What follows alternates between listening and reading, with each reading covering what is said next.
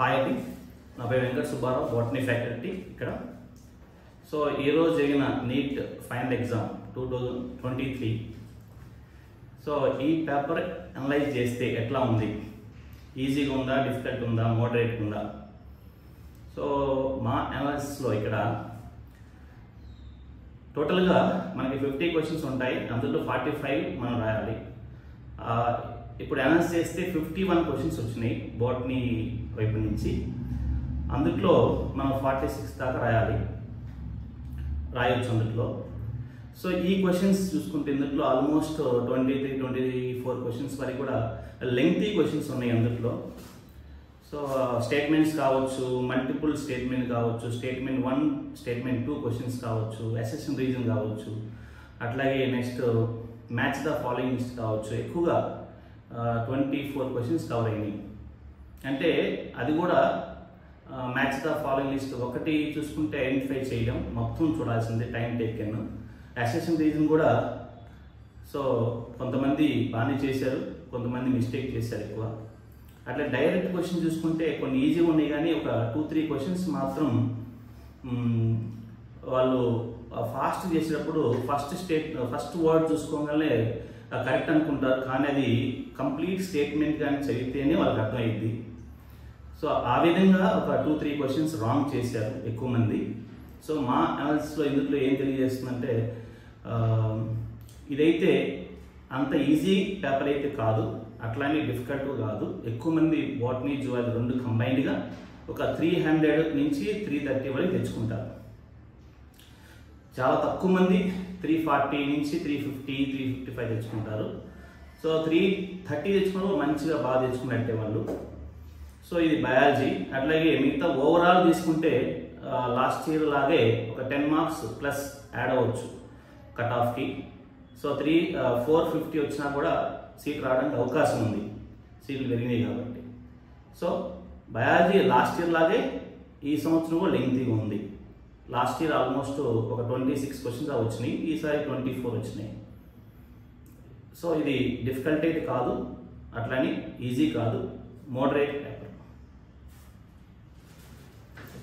Hello అండి. నేను Kavitha botany faculty in Vashishta junior college the impression of today's NEET paper on biology ఏంటి అంటే paper was limited to NCERT undoubtedly కానీ దాంట్లో చాలా మెటిక్యులస్గా చదివిన పిల్లలే దే కెన్ ఎక్సెల్ అన్న దానికి this is a wonderful example because చాలా డీటెయిల్డ్గా మనకి అసర్షన్ రీజన్ క్వశ్చన్స్ కానివ్వండి స్టేట్మెంట్స్ కానివ్వండి ఇంక్లూడింగ్ మ్యాచ్ ద ఫాలోయింగ్ ప్రాపర్గా వాళ్ళు ఒకటి మ్యాచ్ చేస్తే మీకు అన్ని ఆన్సర్స్ వచ్చేస్తాయి అన్న ఆస్పెక్ట్ లేదు. At least two to three కూడా మ్యాచ్ చేసుకొని వెరిఫై చేసుకోవాలి.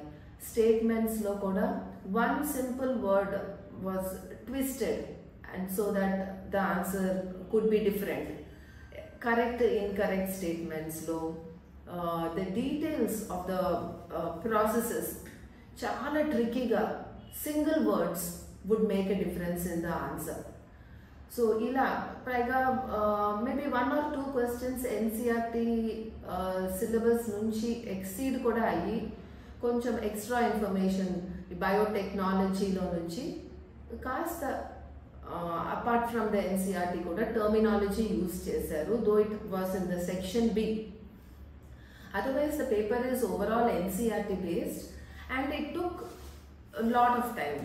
ఎందుకు అంటే because of the statements assertion reasons ఎప్పుడైనా they have to be considered whether the statement are will be explaining A or no and there the students found it little difficult అక్కడ they వాళ్ళకి subject connect చేసుకునే capacity ఉండాలి relate చేసుకునే capacity ఉండాలి.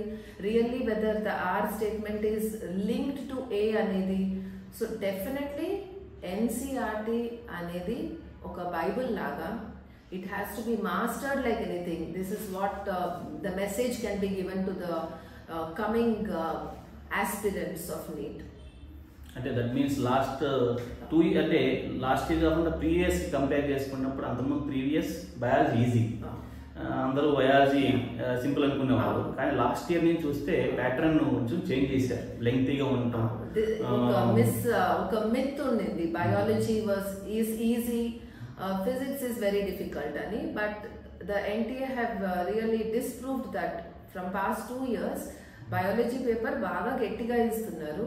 So the same thing ఈసారి కూడా so biology కూడా year beginning నుంచి ప్రాపర్గా చదవాలి మాస్టర్ చేయాలి the content in the textbook the lines in the textbook the depth of the lines in the textbook has to be known properly అనేది మా opinion అండి థ్యాంక్ యూ మేము ఇక్కడ ఇయర్ అయితే లాస్ట్ ఇయర్ ప్యాటర్న్ లాగే year కూడా మేము grand test అనేది కూడా ఎక్కువ ఈ టైప్ ఆఫ్ క్వశ్చన్స్ ఇచ్చామండి. అందువల్ల మా స్టూడెంట్స్ అయితే ఎక్కువ మంది అది కంఫర్ట్గా ఫీల్ అయ్యారు.